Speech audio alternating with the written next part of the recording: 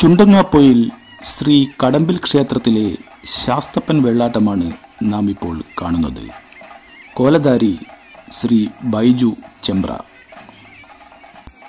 ഉത്തര കേരളത്തിൽ കെട്ടിയാടുന്ന ഒരു പ്രധാന തെയ്യമാണ് കുട്ടിച്ചാത്തൻ തെയ്യം അഥവാ കുട്ടിശാസ്തപ്പൻ തെയ്യം. പതിനെട്ട് ബ്രാഹ്മണ കുടുംബക്കാർ ആരാധിച്ചു പോരുന്ന മന്ത്രമൂർത്തിയാണ് കുട്ടിച്ചാത്തൻ.